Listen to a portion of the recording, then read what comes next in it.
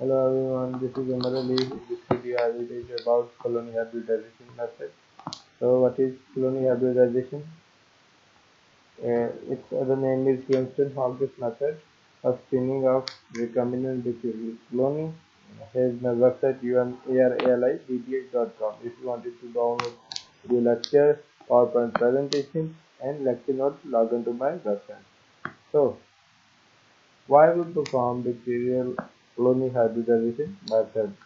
In order to uh, obtain our recombinant uh, recombinant colonies of bacteria, we apply this method. Why this method is preferred?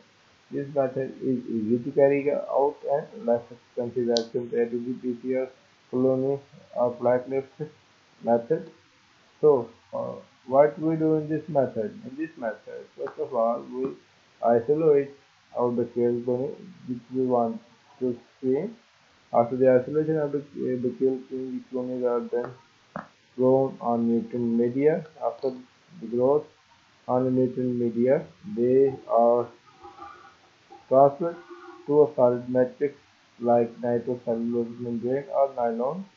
After they are attached to matrix, they are the colonies are denatured so that DNA can be analyzed after the denatured DNA is available the, the colonies are then labeled uh, with radioactively labeled with phosphorus 32 or with uh,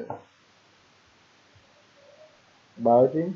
After the labeling has been done uh, the unhybridized uh, colonies are then washed after the washing out, the bacterial cloning are then incubated and, incubated and visualized by autoradiography. And the bacterial cloning that has been iodized uh, turns black under X-ray so that we can see our colony that has uh, uptake the recombinant plasmid. Why this method is efficient? This method is very efficient if we wanted to screen uh, a single gene in our bacterial colony. It gives a specific result. It is less laborious, it's le less time consuming and it's cheap as compared to the other procedure. So what is the crux of uh, our procedure?